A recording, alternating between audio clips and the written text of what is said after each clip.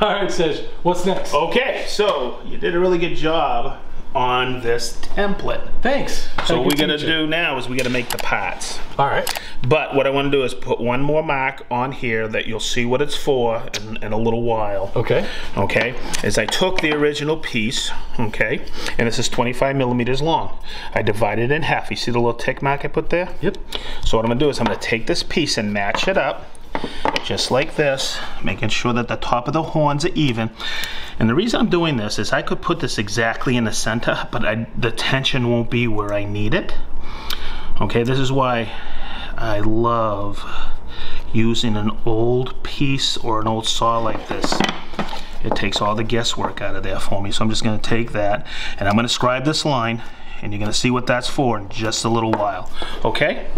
Where I can, can take that now and continue it. Cool. So that'll help me when we reference this board on the right face to get that exactly in the center for a stre stretcher with the eight millimeter domino. Makes sense. Okay. All right, Sedge, what's next? Okay, so the process is we have our template, and we're gonna lay out the template on these two pieces of cherry. Okay. This is gonna be our saw frame.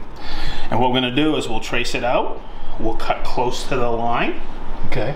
okay, and then we're gonna take this template with double stick tape, double-sided stick tape, and we're going to duplicate this on these two pieces. Nice. Okay. Okay, so I'm gonna show you a little trick. I, I know this is flat and flat. I like to just eliminate as much work as possible, so we'll never have to touch that.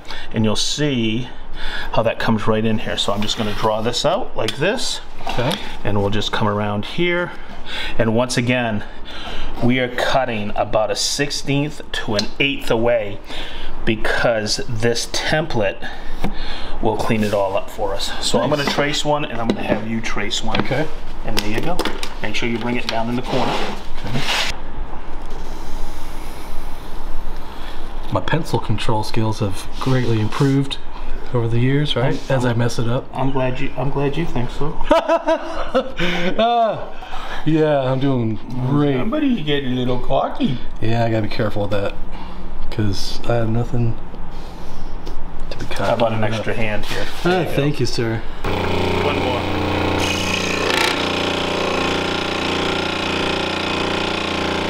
So good job on getting the relief cuts on there. And now what we're gonna do is just cut the scroll out. Um, I would probably put one more right here into Okay. that notch.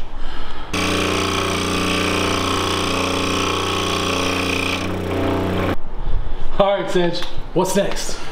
Okay, so we're gonna do some template routing with our router table. Oh, okay. Okay, now there's a variety of ways to do this. We could have made a jig to hold this, but what I use a lot of the time, because this is such a small piece, we gotta be very careful with it.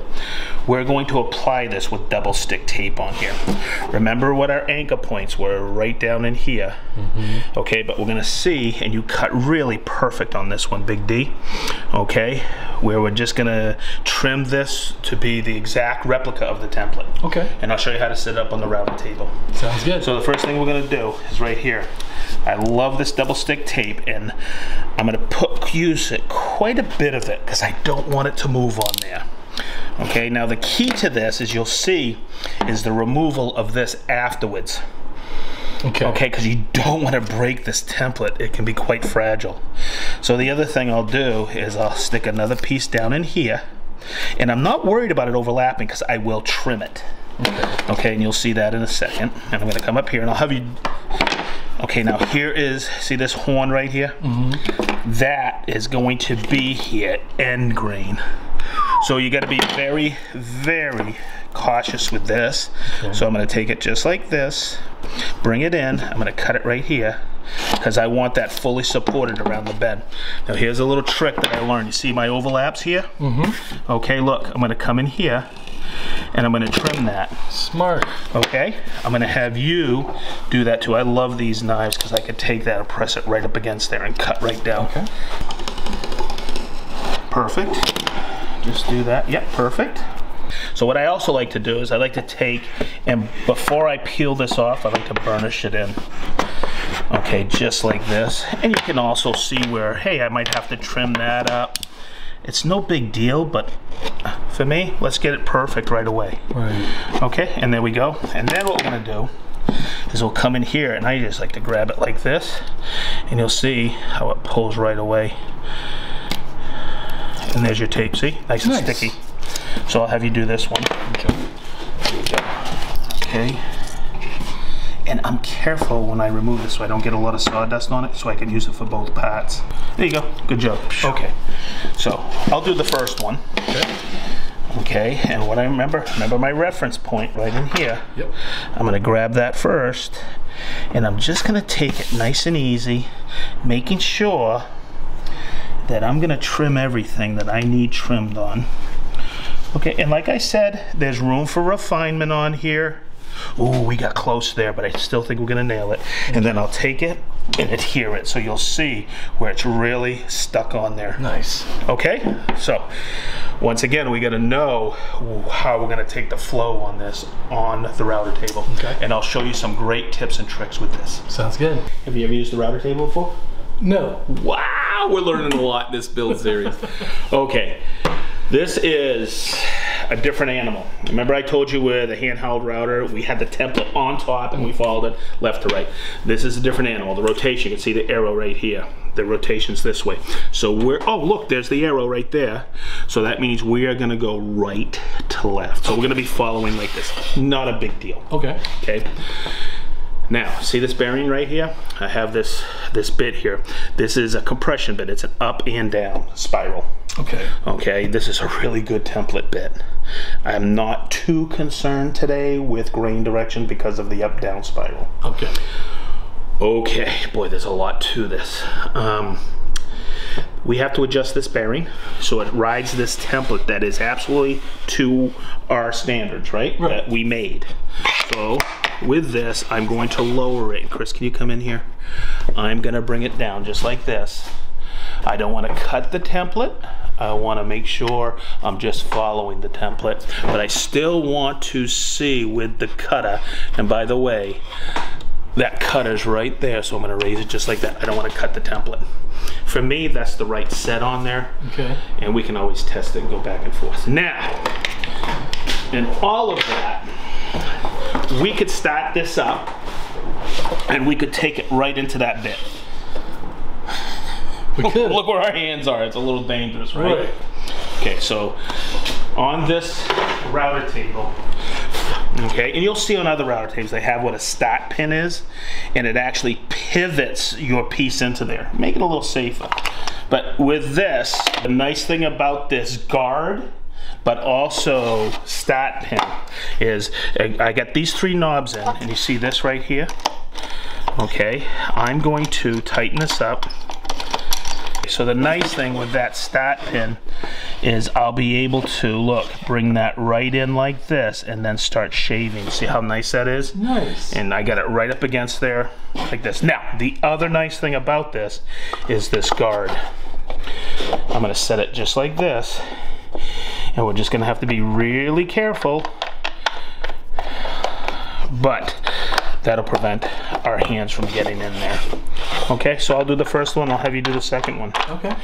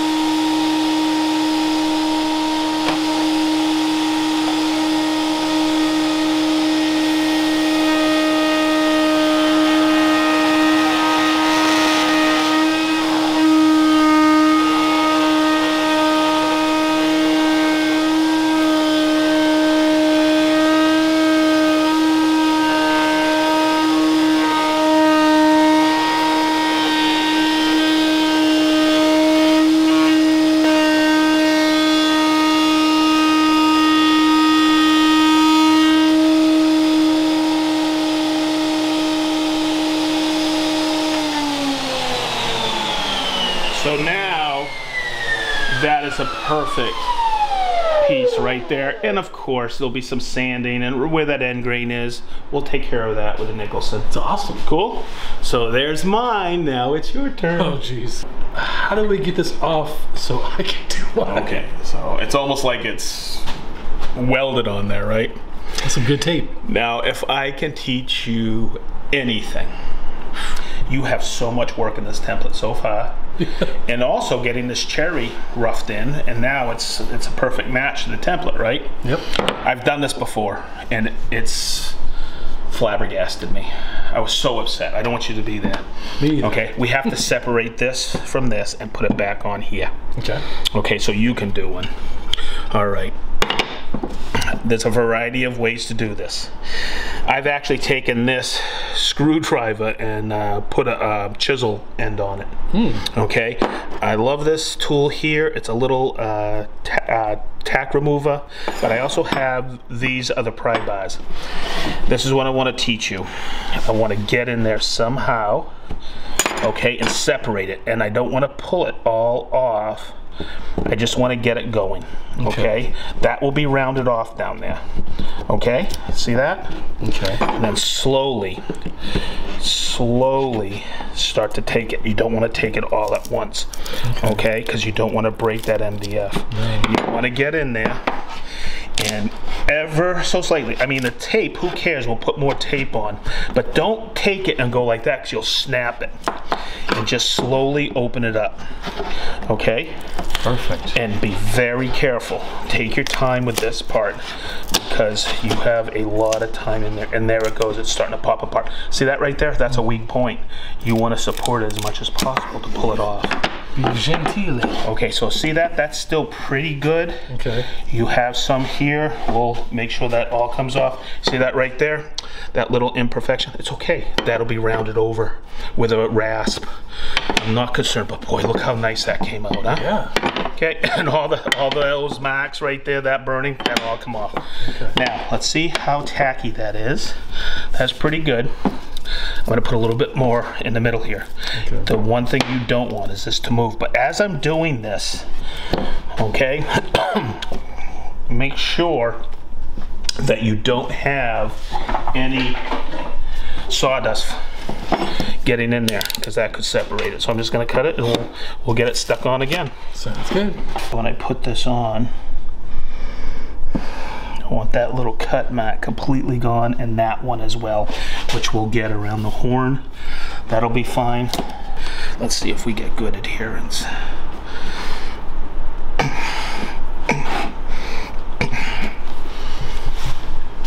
It should be fine. You're just gonna take your time on this.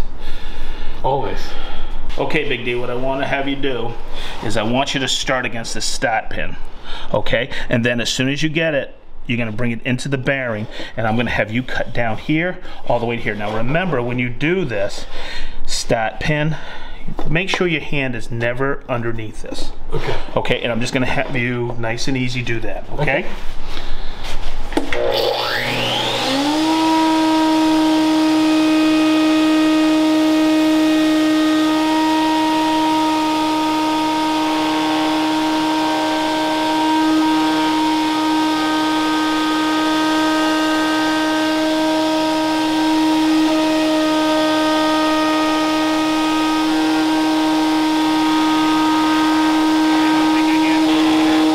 And pull it.